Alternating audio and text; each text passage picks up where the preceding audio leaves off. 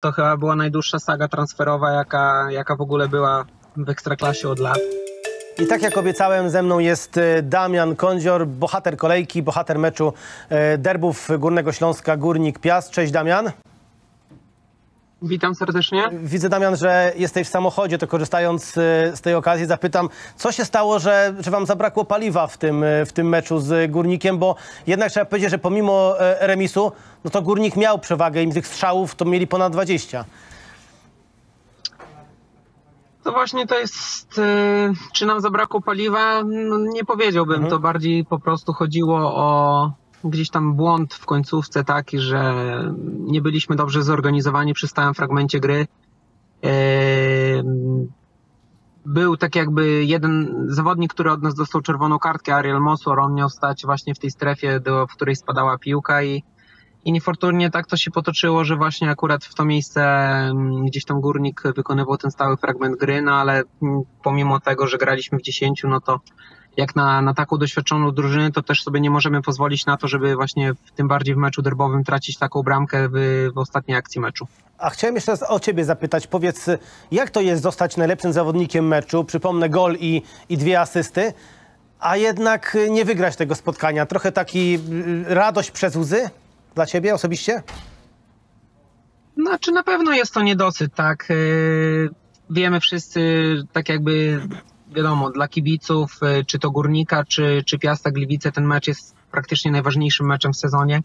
Yy, Ja staram się gdzieś do każdego meczu podchodzić tak samo, z jakim rywalem byśmy nie grali, natomiast no, serce zabiło mocniej, gdy wróciłem na Roosevelta i e, tak jakby wróciłem na, na stadion, który, na którym się czułem bardzo dobrze, gdzie spędziłem rok czasu i osiągnęliśmy fajne sukcesy. Ja też, ja też się dzięki Górnikowi, można powiedzieć, wypromowałem, y, dzięki Górnikowi wyjechałem za granicę i, i, i było to miłe uczucie tam wrócić. No tak się mecz ułożył, że, że prowadziliśmy 2-0, później było 2-2 strzeliłem bramkę na 3-2, no i, i gdzieś z tyłu głowy na pewno siedzi to, że, że, że nie, nie tak jakby nie, nie udało nam się wygrać tego spotkania, natomiast no bardziej niż to, że gdzieś tam byłem wybrany czy zawodnikiem meczu, czy, e, czy, czy, czy to, że miałem e, taki wkład gdzieś tam e, w ten mecz, jeśli chodzi o, o moją drużynę, to bardziej boli to, że nie ma trzech punktów, no bo indywidualne rzeczy są ważne, natomiast no, my potrzebujemy w tym sezonie e, punktów i, i, te, i te dwa punkty można powiedzieć, że straciliśmy w ostatniej akcji meczu z Górnikiem.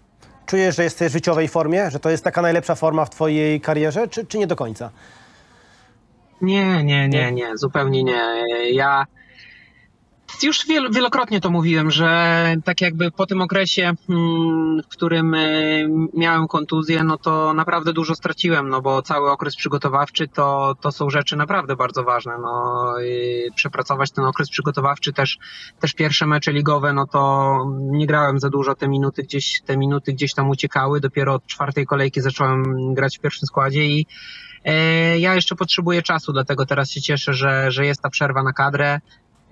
Będzie mm, moment do tego, żeby, żeby troszkę odpocząć, żeby, żeby popracować i, i wydaje mi się, że ta moja forma największa to jeszcze przyjdzie. No, teraz fajnie, że, że są te liczby mm, w każdym meczu, gdzieś dokładam czy to bramki, czy asysty i to cieszy, natomiast jeśli chodzi o samą grę, no to, to jeszcze jest dużo do poprawy. Mm, Wspomniałeś o przerwie na kadrze. Powiedz, y, selekcjoner Michniewicz dzwonił, czy ktoś, od, czy, czy ktoś od trenera do ciebie dzwonił? Jesteś w ogóle w, w kręgu zainteresowań y, na, na mundial? I, I drugie pytanie, czy ty sam wierzysz, że na ten mundial możesz jechać?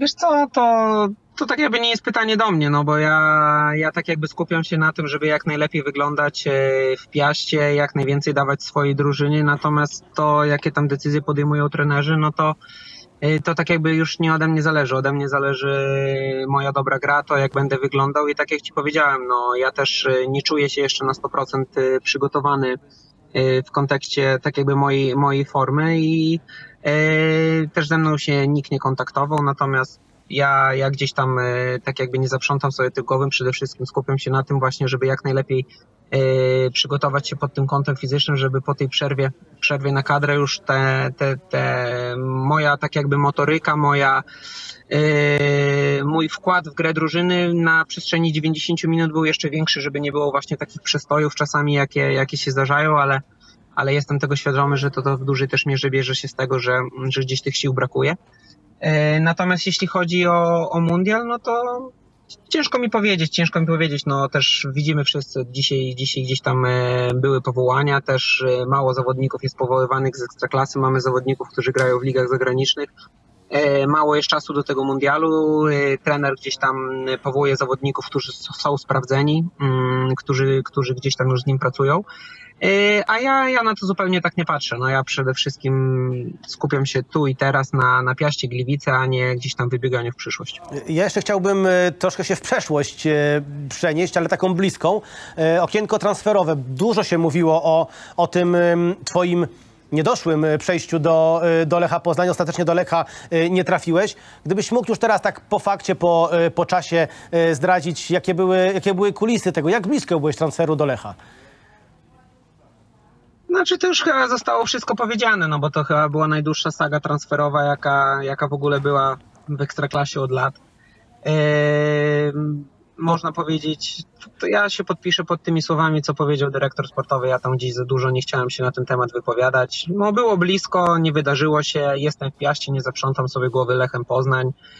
E, oferta, która gdzieś tam przyszła do, do klubu ostateczna, no była, była taka, jaką Piast Gliwice gdzieś tam postawił na początku negocjacji, jeśli chodzi o Y, o klub z Poznania, natomiast y, gdzieś te negocjacje się na tyle przedłużały, że, że pod koniec okienka Piast zdecydował, że po prostu mnie nie puści, bo, bo też mamy swoje ambicje sportowe mm, i, i też po prostu zaproponowano mi przedłużenie umowy E, które, umowę, którą przedłużyłem i na tą chwilę skupiam się tylko i wyłącznie na, na właśnie na Piaście, na tym, żebyśmy jak najlepiej punktowali i żeby moja gra też jak najlepiej wyglądała. Damiana, to nie jest trochę tak, że głowa piłkarza w takim momencie, w, kiedy jest saga transferowa, kiedy, kiedy raz już jesteś blisko Lecha, raz jesteś w Piaście, jest troszeczkę gdzie indziej. Chciałem, krótko mówiąc, chciałem zapytać, czy, czy to nie jest tak, że to odciąga od, od gry w piłkę, od, od przygotowań?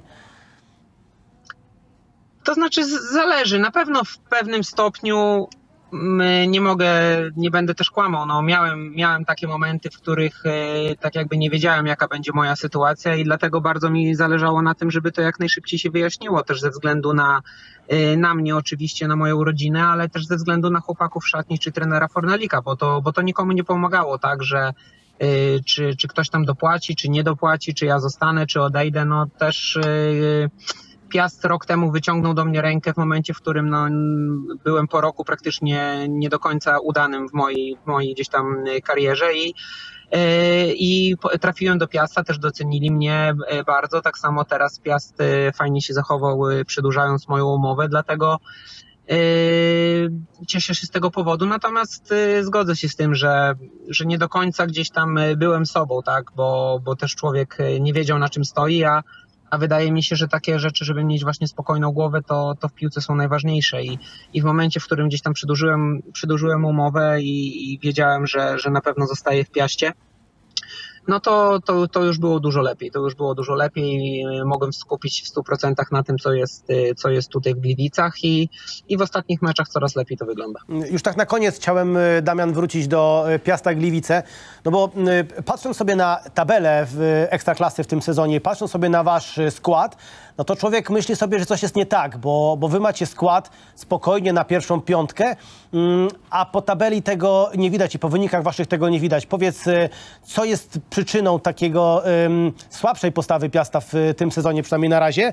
No i na co was stać? Jaki, wasz jest, jaki jest wasz cel?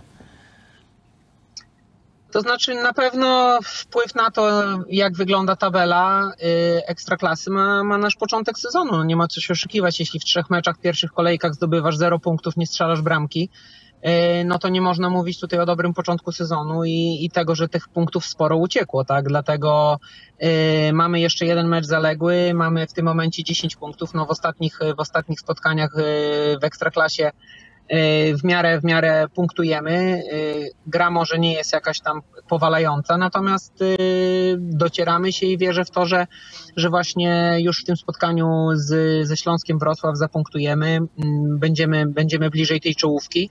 E, Mamy jeszcze zaległe spotkanie, dlatego ja do tego spokojnie podchodzę, bo, bo wiem jaka jest jakość tej drużynie i, i prędzej czy później e, to zacznie, zacznie odpalać, e, tak jak, tak jak to wyglądało na wiosnę i, i wydaje mi się, że jeśli chodzi o samą jakość drużyny, no to, to, to stać nas na dużo, natomiast to trzeba też e, w 100% przełożyć na, na boisko i też przede wszystkim punktować w meczu. No, ten mecz derbowy był właśnie przykładem tego, że pomimo tego, że Górnik był zespołem lepszym, no to y, takie spotkanie powinniśmy wygrać. Takie spotkanie powinniśmy wygrać, tym bardziej, że, że dwa razy mm, prowadziliśmy i y, w tym momencie mielibyśmy 12 punktów i mecz zaległy. Wszyscy widzimy, jak, jak tabela ekstraklasy w tym sezonie jest spłaszczona. Niedużo jest punktów do czołówki, niedużo jest punktów też y, mm, do miejsc, które w tym momencie są miejscami spadkowymi. Natomiast y, celem jest to, żeby jak najwięcej zdobyć po prostu punktów do, do listopada i zobaczymy, które nam, które nam to miejsce da. No, Natomiast yy, mam nadzieję, że mm, do końca, do końca jeszcze ta, poprawimy przede wszystkim grę, bo, bo jakości jest na tyle w drużynie, że, że tych punktów yy, wydaje mi się jeszcze trochę nabijemy. Damian, dziękuję bardzo za rozmowę i dużo zdrowia przede wszystkim. Dziękuję serdecznie i pozdrawiam.